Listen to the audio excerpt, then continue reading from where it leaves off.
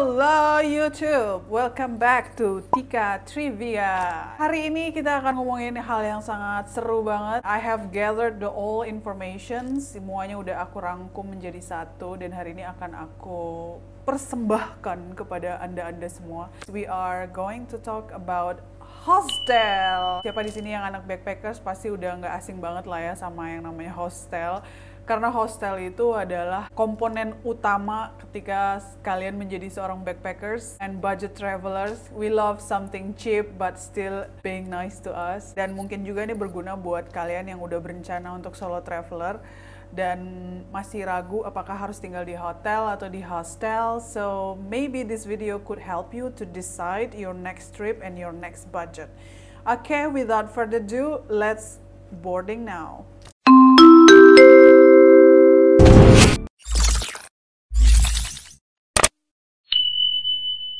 Hostel adalah sebuah bentuk penginapan tempat bersosialisasi bersama dengan biaya rendah dan berjangka pendek, di mana para tamu dapat menyewa tempat tidur yang biasanya berbentuk tempat tidur susun. Yes, it's a bunk bed dengan fasilitas bersama termasuk dapur dan kamar mandi. Ya, yeah, you just heard it kalau aku mengulang kata bersama berapa kali. Karena basically yang namanya hostel adalah milik bersama. That's the difference dari kata hotel and hostel, there is an S in hostel because S is stand for sharing. Tipe-tipe hostel. Kalau di hotel kan udah pasti kita tahu ada hotel bintang 2, 3, 4, 5. Hostel juga punya tipe. Ada tiga tipe utama yang udah aku rangkum yang kalian bisa cari dan sesuaikan dengan budget kalian. Yang pertama adalah cheap hostel. Kenapa dia aku sebut cheap hostel? Karena biasanya punya fasilitas yang paling minim di antara jenis hostel-hostel yang lain.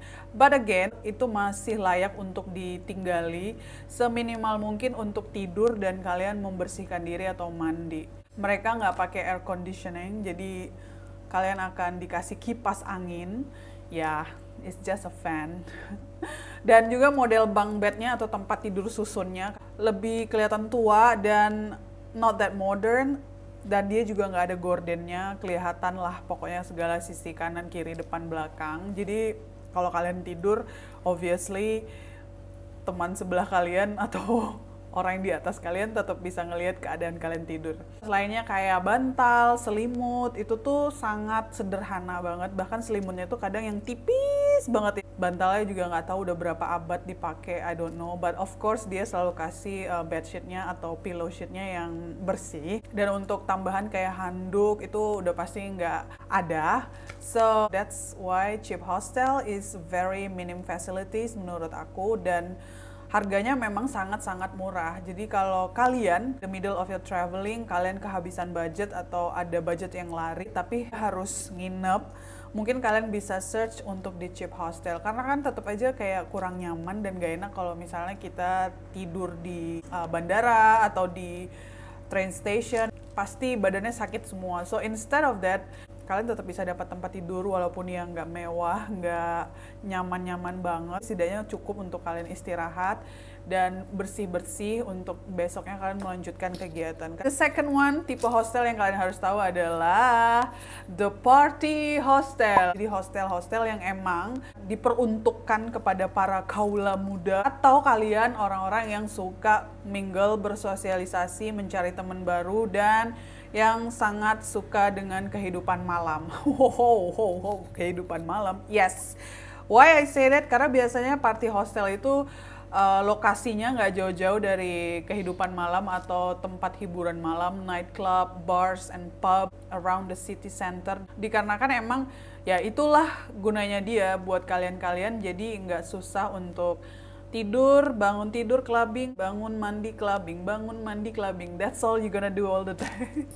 Dan nggak jarang juga di party hostel tuh biasanya mereka udah punya klub sendiri atau pubnya sendiri you know, you can always party inside your hostel with a lot of friends, a lot of new people, and every day is just party. Untuk harga, party hostel lebih sedikit mahal dibanding cheap hostel, walaupun bedanya nggak jauh, paling 50-60 ribu. Karena memang mereka punya fasilitas yang lebih oke. Okay. Jadi kalau di party hostel tuh enaknya, kalian setiap hari tuh nggak akan merasa kesepian atau ngerasa kayak, although you are a solo traveler, but you wanna make friends, party hostel is your place. Mereka setiap hari punya different activities. Misalnya Senin tuh uh, barbecue party, Selasa pool party, Rabu uh, game party. Dan kalian nggak bisa expect kalau kalian stay di hot di hostel party akan terhindar dari yang namanya keributan atau kebisingan because that's impossible. That's not for you. Kalau kalian mencari ketenangan, kedamaian, party hostel mungkin kalian coret dari list budget akomodasi kalian. Number three, ini adalah yang paling di atas menurut aku. Yang ketiga yaitu adalah boutique hostel. Banyak banget hostel-hostel di dunia ini yang uh, dibuatnya secara indah dan estetik dan pastinya instagramable. Fasilitas di dalamnya juga mantep banget. Ini tuh fully recommended karena harganya tetap aja lebih murah dibanding hotel. What I love about boutique hostel, pastinya fasilitasnya udah yang paling lengkap karena dia punya tempat tidur atau bunk bednya udah modern, udah ada curtainnya atau gordennya, jadi nggak terlihat dari luar. Bahkan sebagian yang udah pakai capsule box, yang kalau kalian tidur uh, nggak terlihat kanan kiri. Terus di dalam capsule boxnya juga udah lengkap ada charging port, ada gantungan, ada sedikit meja kecil buat kalian mau nulis-nulis, lampu tidur, udah memiliki itu semua dan nyaman banget sih buat para backpackers atau traveler yang budgetnya nggak terlalu ketat dan nggak terlalu tipis dan tetap ingin nyaman di segi tempat tinggal, kalian bisa cobain boutique hostel. Jadi kalau dalam hostel itu berapa banyak orang sih yang di dalamnya? Kayak tadi aku bilang di awal, the S is stand for sharing. Ini ada beberapa jenis tipe kamar yang bisa jadi consideration atau pertimbangan kalian kalau kalian mau booking hostel. Yang pertama itu dorm rooms. Kalau di hotel namanya kamar, tapi kalau di, di hostel kita manggilnya dorm.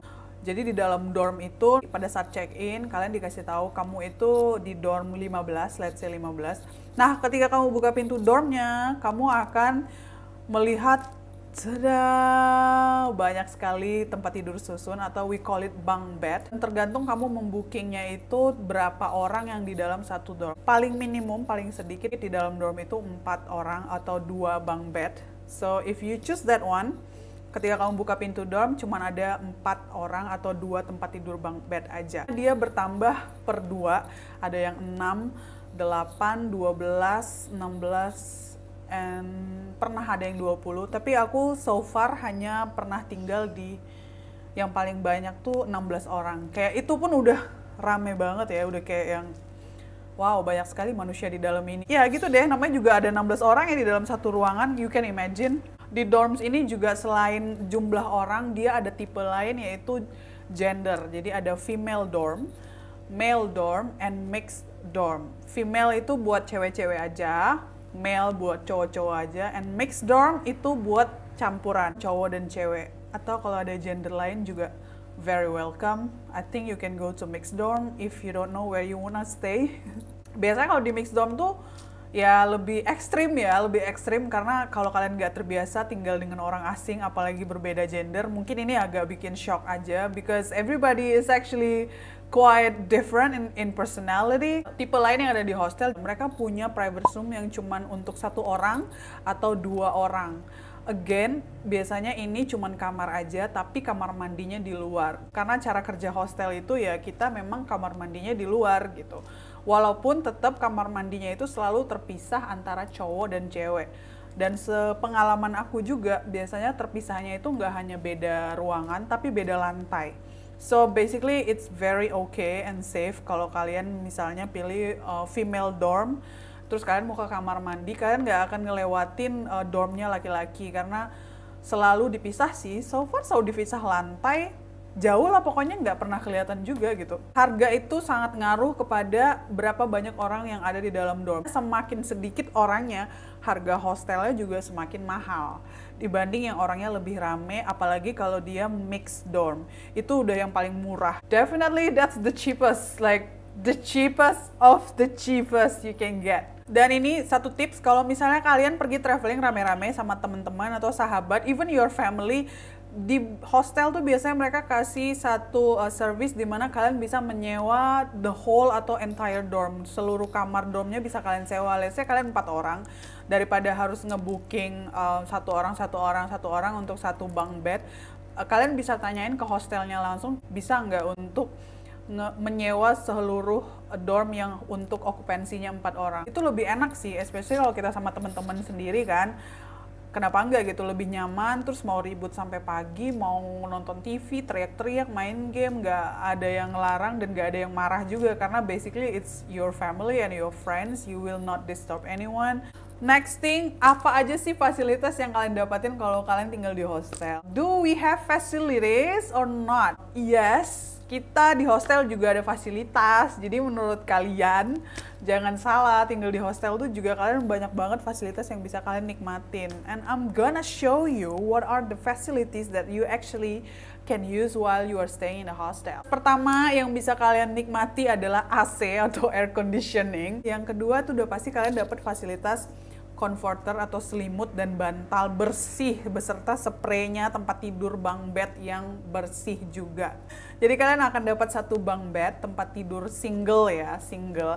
Ada juga beberapa hostel yang sekarang udah nyediain queen bed, jadi kalian bisa tidur berdua. Kalau kalian bersama teman atau your partners, probably you wanna use that one. Terus di dalam bunk bed kalian udah pasti ada lampu satu lampu yang di samping gitu bisa kalian on off untuk kalian membaca atau you, you know you need something to do you need the light mau lihat sesuatu that's the use of your own light in your bunk bed dan banyak kan hostel juga ngasih free towel jadi ngasih kalian handuk well it's always up to you kalau kalian mau pakai handuknya atau enggak atau kalian punya handuk sendiri merasa lebih higienis dan lebih nyaman why not pokoknya mana yang bikin senang aja lah Fasilitas lain yang kalian dapatin kalau di hotel kalian harus booking uh, suite room yang ada dapurnya untuk bisa memasak. Tapi kalau di hostel definitely automatically kalian akan dapat fasilitas dapur. Di hostel itu pasti udah ada pantry atau the kitchen yang kalian bisa pakai. Ada kulkas, microwave, dan ada kompor. Udah disediain juga alat-alat masaknya seperti panci, kuali, penggorengan, minyaknya. Tapi ingat ya, karena itu milik bersama, jadi itu dapur nggak nggak ada di dalam dorm, tapi letaknya itu udah pasti di luar di beda lantai sendiri yang tergantung hostelnya desainnya seperti apa. The next facility yang adalah kamar mandi. Yes, ini dia. Kamar mandi di hostel itu letaknya terpisah atau di luar dari kamar dorm. Selain bathroom atau kamar mandi, beberapa hostel and most of the hostel mereka kasih fasilitas laundry room. Ada mesin mesin cuci sekitar 2 sampai 3 unit yang bisa kalian pakai untuk mencuci baju kalian. Ya iyalah masa baju tetangga ya. Ini nggak gratis. Jarang sih ada yang gratis. Like you have to pay some amount of money. Kayak tapi murah banget sih. But you have to take notes kalau di hostel you cannot guarantee barang kalian akan aman nggak tahu siapa yang ngambil dan nggak bisa tuduh siapa-siapa juga next facility yang cool banget yang ada di hostel itu adalah cozy common areas area tempat kalian bersosialisasi apalagi kalau teman-teman pergi traveling memang salah satu tujuannya untuk mencari teman baru atau you know looking for someone so you have to be hanging around much in the cozy common area uh, tempat nonton TV bareng terus ada juga uh, game area tempat kalau kalian pengen main game mereka suka ada kayak dart atau beberapa hostel tuh punya billiard table, a book corner atau buat suka yang suka baca buku atau pengen you know just writing down your things, your itinerary. Enak banget lah pokoknya kalau tinggal di hostel tuh nggak bosan sebenarnya selain kita ketemu banyak orang, kita juga bisa nikmatin fasilitas-fasilitas itu dan kalian juga bisa sekalian cari temen baru. Another facility yang akan kalian dapatkan adalah free breakfast. In quotes ya, lower your expectation. Breakfastnya yang seperti apa? Not really that much, but again it's still okay buat kita yang traveler perlu asupan gizi, asupan tenaga untuk menaklukkan dunia pada hari itu. Pastinya breakfast di hostel tuh sangat berguna. Dua menu yang selalu ada di breakfast di hostel nomor satu itu pastinya cereal. Itu kayak ya udahlah itulah yang kau dapat gitu. Dengan seharga segitu you gonna get cereal yang kedua adalah toast or bread. Jadi roti yang kalian bisa uh, toast di pemanggangnya udah dikasih sama mereka. Selalu disediain juga selai butter kopi dan teh. Terus ada infused water juga ada. Beberapa hostel ngasih jus walaupun jus-jusan sih menurut aku ya nggak jus asli juga itu kayak artificial juice. But still okay acceptable. Apa yang kamu bayar itulah yang kamu dapatkan. Jadi jangan banyak bicara ya.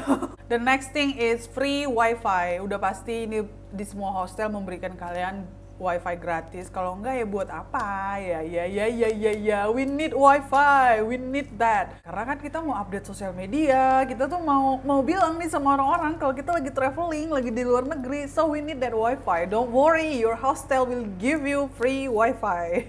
Terus yang lain yang akan ada fasilitas yang diberikan oleh hostel adalah security lockers. Ini ini hampir uh, semua hostel selalu ngasih security lockers. Dan menurut aku ini salah satu fasilitas yang sangat berguna banget kalau untuk kita solo traveler atau para para backpackers. Dan aku selalu bawa double padlock. Untuk double security aku aja karena kita nggak tahu kan itu gemboknya ada duplikat atau enggak yang dari hostel. You just never know. Ini sebagai pencegahan akan hal-hal buruk yang terjadi. Beberapa travelers tuh mereka suka taruh sepatunya di dalam itu karena rata-rata sepatunya bukan sepatu murah sih yang ditaruh di dalam memang benar-benar sendal atau sepatu yang lumayan mahal dan mereka nggak mau taruh di uh, rak sepatu di bawah di dekat resepsionis because it might be lost. Jadi kalau kalian pergi traveling backpackers jangan bawa sendal atau sepatu yang mahal. Percaya deh, nggak perlu apalagi kalau tinggal di hostel ya. Kalau tinggal di hotel sih doesn't matter. Tapi kalau lu tinggal di hostel nggak usah bawa yang mahal-mahal atau menggiurkan untuk dicuri. Sekarang saatnya aku kasih tahu kalian gimana caranya booking hostel. Ini website-website yang selalu aku pakai dan it works very well dan so far belum pernah mengecewakan aku. Yang pertama, aplikasi yang paling common yang ada untuk mencari hostel di seluruh dunia. Ke mana pun kalian pergi, kalian butuh hostel, just click on this website. It's called hostelworld.com. Pastinya kalau backpackers sudah pada tahu, traveler pasti udah pada punya aplikasinya di handphonenya masing-masing em. Oke, okay, we open hostelworld.com. Nah, di situ dia langsung kelihatan kalian mau pergi ke mana. Di sini aku coba langsung tulis Phang Vieng di Laos, because ini yang paling terakhir aku berangkat kemarin ke Phang Vieng. Tanggalnya aku rubah ke tanggal 26 sampai 29 Oktober. Confirm dates, yes. Itu guest tamunya aku ganti satu. Let's search it out. Okay, it's loading. Yang aku suka dari Hostel World, dia itu langsung kasih kamu rating, terus berapa jauh dari city center, dan dia langsung kasih harga per malam. Jadi di situ kalian bisa lihat ini kayak Fang Feng Rock Backpackers, ratingnya 8,5, 2,5 kilo dari city center, harga per nightnya sama dormsnya berapa. Yang private room sama yang dorms dia kasih tahu. Nah ini di Hostel World tuh dia banyak banget pilihannya. Kalian mau yang private room atau yang dorms, dia udah kasih harga per malam. Nah ini banyak banget, you can see it. Uh, ratingnya berapa, terus dia itu berapa kilo dari kota dan ada yang hanya dorms dia akan kasih harga yang untuk dorms aja. Kalau yang ada private rooms dia juga akan kasih ke private rooms. Terus kalau yang belum kasih rating kayak tadi dia nggak kasih rating. Oke kita langsung langsung ke filter nih. Aku ke filter aku pengen tahu ini filter-filternya property type. Kalian bisa klik apa aja yang ingin kalian punya fasilitasnya. Ini yang apa fasilitas yang kalian mau. Kalian bisa klik klik klik klik. Di sini aku mau coba room type-nya female dorm. Ini aku klik tadi female dorm. Jadi dia akan keluar hostel-hostel yang ada female dorm. Nah jadi kayak si Fang Fieng Rock Backpackers ini punya female dormnya. Ini overall ratingnya fabulous 8,5 kalau dari Hostel World. Dan di rating tuh dia kasih tau semua apa yang winning, apa yang paling sedikit ratingnya di sini, lokasinya paling winning ya. Terus review-reviewnya juga banyak, ada 850. Kalian bisa baca-bacain reviewnya, ada policies, peraturan, cancellation policies juga ada di sana. Yang harus kalian tahu dari Hostel World, mereka akan selalu minta down payment. Jadi kalau di Hostel World kalau kalian udah fix nih mau booking dia, kalian akan dimintain down payment dan dimintain credit card details. Ini aku cari review yang paling jelek. Oke, ini ada yang kasih review Ryan Beck terus sama Fang Fiengnya dibales. Wow, sepertinya mereka sedang berargumen di sini reviewnya panjang banget ini dari Fang Fiengnya. But this is good. Kalian harus selalu baca review buruk karena itu yang selalu aku lakuin. Apa sih yang terburuk dari hostel ini? Hanya orang-orang yang ngasih review buruk yang bikin kita tahu apa sih yang nggak bagus dari hostel ini. So ini beberapa dari mereka giving the bad reviews. If you are still want to know or if you can trust kalau kalian merasa belum percaya dengan hostelnya, kalian bisa coba baca-baca bad reviewsnya. Ini yang selalu aku lakuin sih. I like to read bad reviews. Ini dia dormsnya, nah tadi aku udah bilang ada yang standar 4, ada yang 10 uh, bunk bed, ini ada yang 10, jadi maksimal kayaknya 10. Itu dia ada free cancellation, harganya beda dengan yang nggak free cancellation atau non-refundable. Jadi hati-hati. Biasanya yang free cancellation harganya emang lebih mahal sedikit dibanding non refundable so kalau kalian mau cancel juga mereka ada kasih tanggal limitnya nggak tiba-tiba lu cancel hari itu juga ya nggak bisa. Jadi dia selalu kasih tanggal limit kapan kamu bisa free cancellation. Ini aku klik. So di situ dia jelasin kalian harus baca baik-baik. Otherwise you gonna lose your money if you are not sure if you wanna book or not. That's hostelworld.com we gonna go for next apps yang aku suka.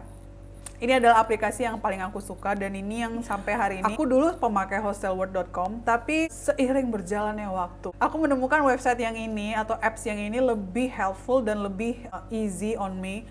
Website aku yang kedua yang menjadi favorit aku sampai hari ini still my recommendation adalah booking.com. I love booking.com. Pertama karena booking.com itu dia kalau misalnya di websitenya ketika kita klik tanggal yang kita pengen sampai ke tanggal berapa, berapa hari kita stay, dia itu harganya langsung kasih summary, langsung harga total kita stay untuk tiga hari atau empat hari yang sesuai pilihan kita. Jadi kalian nggak perlu ngitung lagi perharinya berapa. Dan biasanya harga di booking.com itu somehow lebih murah dibanding hostelworld.com selain itu adalah mereka suka kasih no credit card needed atau no card requirement. Jadi ketika kalian booking kalian nggak perlu pakai credit card atau debit card cukup kalian book aja tanggal yang kalian mau klik booking nanti dia akan kasih email reference uh, bahwa kalian sudah membooking tempat itu and it works. Ketika aku melakukan dan aku datang ke tempat yang aku booking, mereka juga udah menerima email confirmation dari booking.com bahwa aku membooking uh, via booking.com. I'm gonna show you why I love these apps. Oke, ini aku udah buka booking.com. Nah, ini bentuk booking.com ya. Hi, we're back. Kita langsung aja ke destinasi yang sama, Fang Vieng, dan aku pilih tanggal yang sama, 26 ke 29. Aku ganti um, adultnya jadi satu, satu dewasa, apply, and let's search for it. Ya, ini dia. Nah, kalian bisa lihat di situ, dia langsung kasih rating juga, lokasinya berapa jauh dari city center, dan di situ kalian lihat ada free cancellation, terus harga tiga malam. Jadi langsung harga tiga malam tuh cuma 80 ribu, gila nggak? Nah ini kalau yang ada breakfast included, dia kasih tahu. Yang aku suka yaitu kalau kamu lihat harganya ya udah kamu nggak mikir itu harga per malam tapi udah itu harga per tiga malamnya. That's why I love booking.com it's really really cheap. Benar-benar murah sih menurut aku nggak tahu kenapa dia lebih murah dibanding hostel world but it does nih aku lihat aku scroll sampai ke bawah dia juga nggak hanya untuk hostel tapi hotel juga masuk di dalam booking.com for sure kalian hanya bisa untuk cari tahu dia hotel atau hostel kalian pergi ke filter Nih aku klik dulu si Magic Monkey. I've actually stayed in this hotel Magic Monkey and I love this hostel. Nah ini dia kasih tahu very good ratingnya, harganya tiga malam itu 79.000, 80.000. Wow, so cheap. Tuh no booking or credit card. Jadi nah ini free cancellation, mereka nggak minta no prepayment needed, jadi nggak minta down payment at all. Kalau kalian cancel juga ya udah cancel aja. Kalian bisa select. Ini ada beberapa pilihan dorm atau eh, kamar-kamar uh, di hostelnya untuk yang berapa orang nih semuanya ada. Terus dia kasih tahu juga kalau misalnya tinggal beberapa kamar doang itu dia kasih tahu. This is what I love about it. Nah ini contoh. Aku klik foto-fotonya. Nah ini lokernya. Ini salah satu area yang cozy, ini toiletnya seperti ini. Oke, itu foto-fotonya. Kurang lebih dia kasih lihat foto-foto area di dekat hostel tuh seperti apa, pemandangannya apa. Nah, itu ada lokernya kayak gitu. Ini ya biasa lah yang namanya kita mau tinggal kita harus tahu detail dulu ya, ini bentuknya gimana. Kadang kan foto tuh agak menipu ya, karena semua orang pasti kalau mau mempromosikan bisnisnya akan mempromosikan dengan sangat keren dan oke, okay. but you have to be careful with it. So that's it. That's how I love booking.com. Selanjutnya, ini ada another website yang perlu dan bisa jadi rekomendasi kalian kalau kalian mau booking hostel. Ini yang ketiga. Jadi website ini atau aplikasi ini mereka buat untuk membandingkan harga antara beberapa hostel. Namanya hostels.com. Mereka akan bandingin dan memberi summary tentang tempat atau destinasi yang mau kalian kunjungi dan harganya itu juga mereka kasih lihat di beberapa website lain. So, let's check it out. Ini bentuk apps-nya, sangat gampang juga user interface-nya, nggak ribet. Enter a city, oke okay, kita masukin Fang Fieng, tanggalnya juga kita buat yang sama kayak yang tadi 29, guestnya satu. Nah, dia langsung keluar quickest answer. Jadi kasih jawaban tercepat, base rate, base for solo traveler, hostel yang paling murah juga langsung keluar. Dia langsung kasih summary. Dan di bagian bawah, kalau kalian scroll lagi ke bawah, dia akan langsung tunjukin harga-harganya. Jadi di sini harga yang paling murah di dia itu Janin Backpackers. Terus dia kasih lihat di booking.com harganya 5 dolar, ratingnya 8,7. Terus juga kalian bisa lihat di situ dia kasih tahu kalau ini party hostel atau enggak terus dia kasih tahu itu cocok nggak untuk solo traveler nih yang kayak Fang Feng Rock Hostel, Party Hostel dan untuk solo traveler. Harganya di booking.com 3,60 dolar, di Hostel World 3,82 dolar. sih kalau di hostels ini dia ngasih perbandingannya lebih clear sih, lebih enak untuk kita ngelihatnya. Uh, jadi kita lebih better booking di yang mana gitu. Nih dia kasih sampai ke bawah-bawah. Ke bawah Ya, so many. Harganya kurang lebih 3 dolar, 4 dolaran. That's that's the price of our hostel actually. Biasanya per malam nggak lebih dari 5-6 dolar sih. Murah banget ya? Iya, murah. Kebetulan ini di Fangfeng. Jadi di Fangfeng Laos itu emang hot hostelnya murah-murah. Aku juga bingung. Tapi bagus, nggak nggak yang jelek gitu. Masih sangat layak banget untuk dikunjungi tuh dia kasih tahu nih cheapest hostel berapa, party hostel di Fangfeng ada berapa banyak, rating masing-masing atau rata-rata tuh berapa. Dan dia kasih tahu juga overall summary. Jadi top rated siapa, yang paling murah siapa, best hostel siapa. Di sini sih yang menang sih semuanya Jenin ya, Jenin Backpackers. Coba kita klik Jenin Backpackers. Oke, okay, dia kasih nah tuh keluar harga-harganya. Harganya di booking.com aja yang available yaitu 5 dolar. Bednya mixed dorm 5 dolar per malam untuk satu bang bed. Facilities, oke okay, let's click. Party hostel, solo traveler. Cocok untuk party hostel dan solo traveler. Freebies, parking, wifi, extra service, ada city tours dan handuk dikasih. Ini other amenities yang kalian dapatkan ada barbecue grill, AC, game room, hot showers, laundry, walking tours, hmm, movie library. Yang dan mereka di sini yang not offered nggak bisa terima credit card payment. Details, no curfew, jadi mereka bebas nggak ada jam malam, resepsionisnya 24 jam. Terus di hostel juga dijelasin lebih detail lokasi, common space-nya ada apa aja. Nah ini common space yang tadi aku omongin, dia kasih tahu ada apa aja, summary, foto-fotonya juga diperlihatkan. Nah ini hostel yang nggak punya gorden. Ya yeah, of course, it's cheap hostel, so I told you ini bentuk-bentuknya, surroundingnya seperti ini. Ini bentuk tempat tidurnya. Tinggi banget ya, ini ada tiga nih. Wow, that's big. Ini game room kayaknya. Uh, ini agak tinggi sekali tempat tidurnya. Oke, okay, that's good. It's pretty good in for hostels. Oke, ini location and contact. Dia kasih tahu gimana cara kalian pergi ke tempat itu, dijelasin di mapnya juga ada, address, coordinates-nya juga dikasih tahu. So, that was it. Hostels.com. That's a good one actually. I like that. Last one yang terakhir ini juga masuk dalam list kalau kalian mau mencari hostel. Somehow I never use this application. Aku nggak pernah pakai karena aku ngerasa di Hostel World sama di Booking.com aja udah cukup buat aku mencari informasi yang aku mau. Plus Trip Advisors, aku selalu uh, rely atau bergantung kepada Trip Advisor ketika itu mengenai review dan details about something. Karena di TripAdvisor tuh memang benar-benar mereka punya forum untuk ngebahas suatu tempat atau tempat yang pengen kalian kunjungi worth it atau enggak jam berapa yang paling cocok ke sana. Di sana tuh kayak benar-benar ada forum travelers yang kalian bisa login dan baca-baca.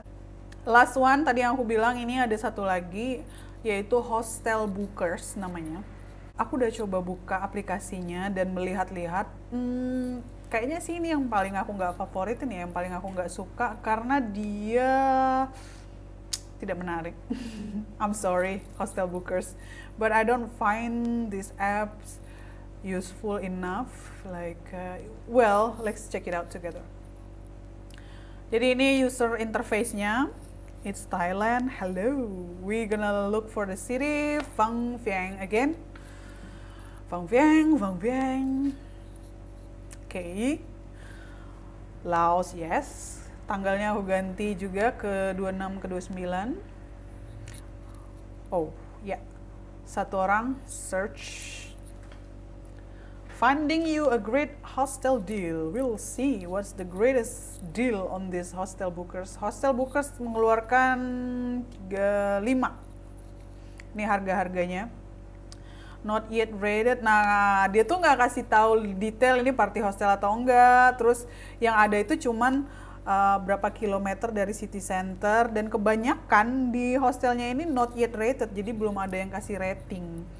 Ini yang aku buka yang paling pertama tadi, aku cuma pengen tahu aja kalau kita klik dia kasih tahu informasinya, oke, okay, facilities dia kasih tahu di sini di apps-nya important information, informasi pentingnya dia kasih tahu.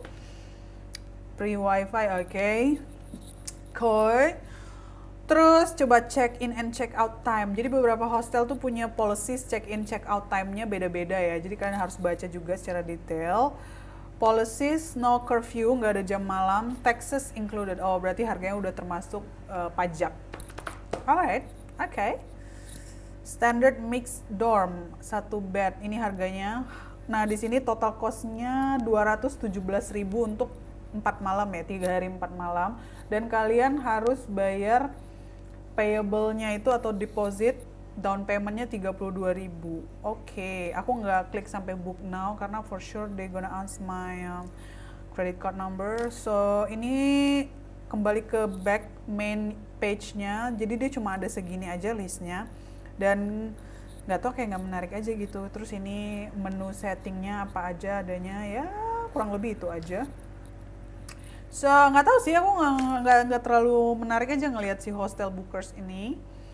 What else do I click on? Let's see. Oh, oke okay, aku coba lihat ratingnya yang dia kasih. Ini atmosphere, cleanness, facilities. Oke. Okay. Aha. Dia kasih tahu juga rating review berapa masing-masing review dari yang udah pernah stay ngasih rating berapa dia kasih lihat di sini dia kasih nomornya cukup besar ya 31 persen 54 persen so ya yeah, okay, that's uh, that's it hmm, oke okay. itu dia tadi dari hostel bookers if you are planning to go probably dari semua list yang aku kasih tadi mungkin kalian udah tahu pengen cari hostelnya ada di mana mudah-mudahan membantu. Uh, sebagai penutup video ini aku akan sharing ke kalian semua etiket atau tata cara tata krama kalian ketika tinggal di hostel. Sebagaimana kalian harus bersikap ketika kalian menjadi hosteler atau seseorang yang tinggal di hostel. So I'm gonna break down for you in this Tika Trivia First yang harus kalian tahu etiket ketika jadi hosteler adalah jaga kebersihan dan kerapihan. Ini penting banget, please, please, please, karena ini properti milik bersama, kalian staying there together. Jadi kalau kalian uh, stay in the hostel, gimana pada saat kalian masuk dan check in dikasih tempat yang bersih, tempat yang rapi. Begitu juga pada saat kalian selesai jangan tinggalin sampah apa pun yang itu merupakan milik kalian. Coba untuk lebih mengerti para staff housekeepers yang memang udah sangat terbatas, bantu mereka untuk tidak memiliki kerjaan lebih banyak hanya karena kamu tidak aware atau terlalu cuek dengan barang-barang atau hasil sampah yang kamu tinggalin. Please, it's not cool. Seriously, oke? Okay? Selanjutnya, respect. Hargai milik orang lain. Don't take what is not yours Kenapa? Ini sering banget kalau di hostel itu rata-rata kalau travelers, especially di kamar mandi, mereka tuh suka taruh toiletrisnya di kamar mandi. Apalagi kalau yang stay-nya agak lama kayak seminggu dua minggu, mereka taruh aja di kamar mandi. Dan kamu jangan seenaknya ngambil punya mereka terus dipakai oh aku nggak ada sampo nih aku nggak ada sabun. Ya udah nih nggak ada yang lihat juga nggak ada yang punya kayaknya aku nggak tahu punya siapa. Terus ala ala orang Indonesia ya yang kayak eh minta ya uh, minta dikit ya samponya. Padahal orangnya nggak ada gitu kayak don't ever do that. Whatever it's not yours don't take it. Jangan diambil jangan dipakai. Termasuk juga sendal sepatu.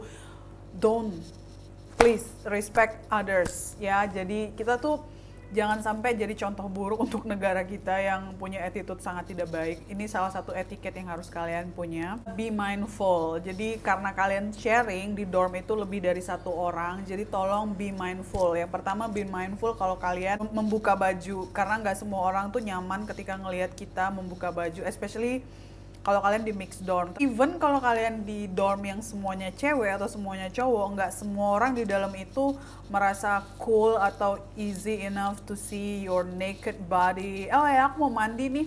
Ya udahlah buka baju di sini aja kayak be mindful, oke? Okay? We don't like to see this. Ini mata nggak pengen terkontaminasi dengan uh, segala yang tidak ingin dilihat, oke? Okay? Selain itu, be mindful juga ketika kalian menutup atau membuka pintu kalau udah lewat jam malam.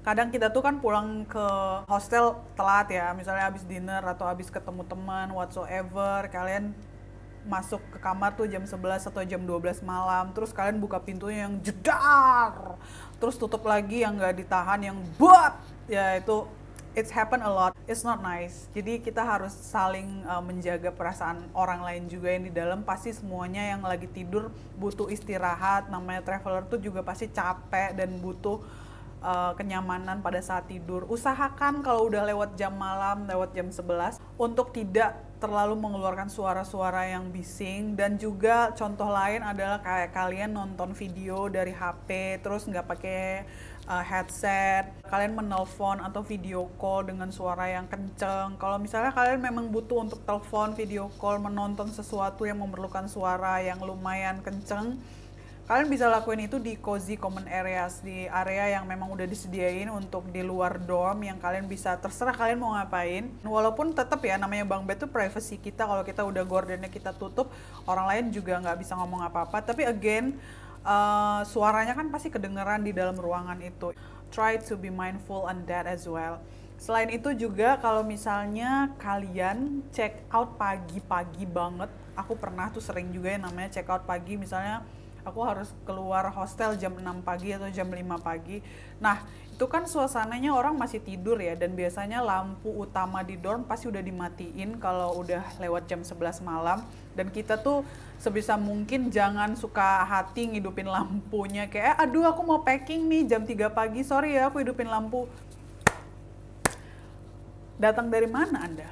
Negara mana anda? Jangan dilakuin sebisa mungkin tips dari aku kalau kalian harus check out pagi jam 5 pagi seperti itu. Kalian packing barangnya tuh udah dari malam dari sebelum jam 11 of course. Masih jam-jam yang aman mereka masih hidupin lampu utama. Kalian packing semuanya rapi prepare.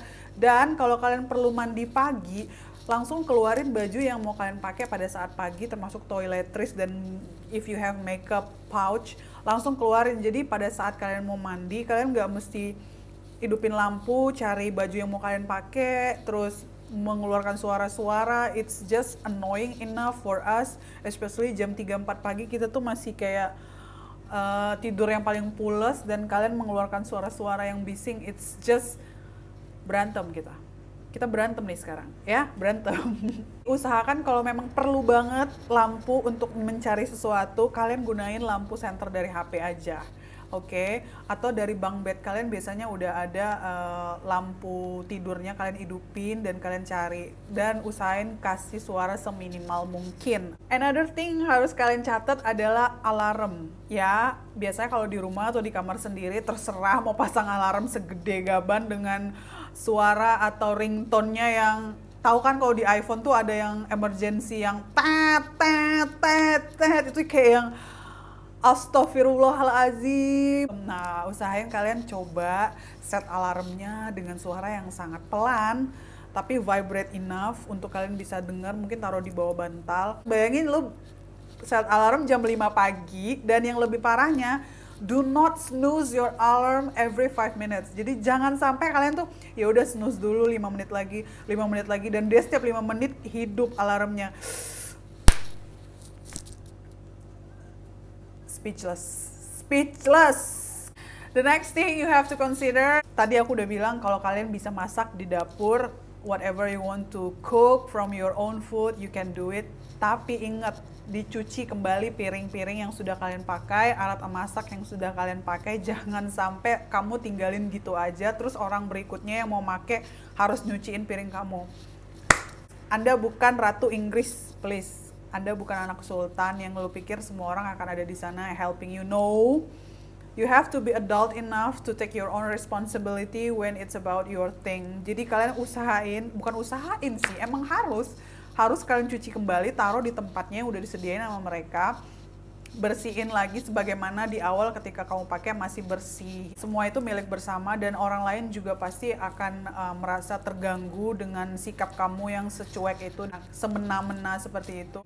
Another thing yang harus kalian catat adalah jangan do not ever weak weak di dalam hostel. Big big no, jangan ada ya, jangan ada pemikiran kalau kalian tinggal di hostel kalian bisa week week seenak kalian. No, please. Again, respect others. Dan jangan pernah bawa orang asing atau orang luar yang kalian baru kenal pada saat makan atau di luar terus tiba-tiba eh do you wanna come to my dorm tiba kamu bawa orang asing ini masuk ke dalam dorm kamu walaupun kamu nggak ngapa-ngapain cuman kayak hanging out with them inside your bunk bed still it's not nice. Kita nggak tahu orang luar yang kamu bawa ini. Mungkin aja dia punya niat yang jahat atau negatif. Bisa aja dia mengambil sesuatu yang bukan punyanya punya milik traveler lain. We never know what these people could do. Apalagi kalau orang itu orang yang baru kamu kenal. It's very very dangerous to bring them inside your dorm. Kalau kalian emang bener-bener pengen bawa dia ke hostel hangout cukup di area common spaces yang udah disediain sama hostel. That's enough The rest, look for a hotel. The last thing is ketika kamu check out, biasanya kalau di hostel tuh kalau kamu check out mereka minta spray, handuk sama sarung bantalnya kamu buka sendiri dan kamu taruh di basket yang memang diperuntukkan buat spray yang udah mau dicuci. Itu biasa banyak hostel punya policy kayak gitu. Jadi kalian harus tahu apa aja peraturan-peraturan hostel yang mereka berikan, kalian baca baik-baik dan sebisa mungkin taati. Kalian tuh udah bayar murah jadi cobalah untuk tidak mempersulit orang yang sudah memberikan fasilitas baik dan mencoba meringankan budget kalian pada saat traveling. Last etiquette you need to have while you are being a hosteler atau staying in a hostel adalah smile and be friendly. You know just smile around with people. Jadi orang-orang di sana juga nggak segalak dan secuek yang kamu pikirkan. Kalau memang kalian bertatapan mata atau you know bump to each other just hi how are you doing and just give a good smile dan be friendly kepada semua orang karena kamu nggak tahu mungkin aja mereka akan ngebantu kamu pada saat sulit atau when you need something, let's say apa pun yang kamu butuhkan dan kamu nggak punya, mungkin mereka akan bisa bantu adalah orang-orang yang tinggal di hostel juga sama-sama kita. So be nice, be friendly, especially dengan teman dorm kamu.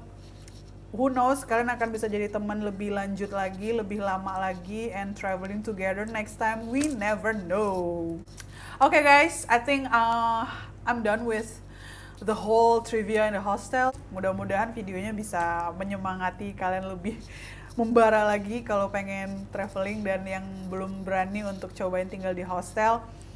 You should try because I've just told you everything you need to know about hostel. Okay, don't forget untuk subscribe my channel and give the thumbs for the likes dan juga komen di bawah buat kalian semua yang lagi nonton dan kalian punya pengalaman seru atau asik atau horror juga boleh tentang staying in the hostel atau kalian ada pertanyaan tentang hostel just drop in the comment. I will try to read them one by one. And I'm gonna see you on my next video only on Tika Trivia. Bye bye.